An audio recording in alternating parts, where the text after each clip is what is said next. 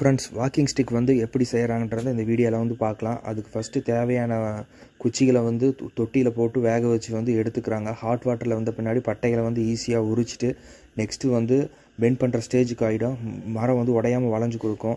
அதை வந்து கைப்பிடி சேப்புக்கு வந்து பெண்ட் பண்ணிவிட்டு நெக்ஸ்ட்டு வந்து அதை வந்து ஹேங் பண்ணி காஞ்ச பின்னாடி வந்து பார்த்தீங்கன்னா ஃபயர் ட்ரீட்மெண்ட் பண்ணி அதுக்கு வந்து பாலிசிங் கொடுக்குறாங்க. ஃப்ரெண்ட்ஸ் இப்படி செஞ்சால் அதுக்கு ஸ்ட்ரென்த் அதிகமாக இருக்கும். நல்லா லைஃப் வரும்.